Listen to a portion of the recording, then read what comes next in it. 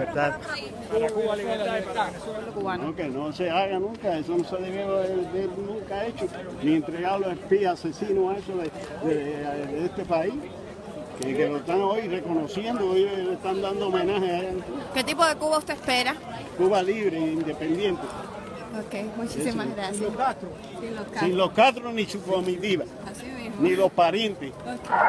apoyando a los cubanos y para decirle también que hay que conversar con el pueblo cubano, porque eso es lo que hay que conversar de tantos años que han sufrido.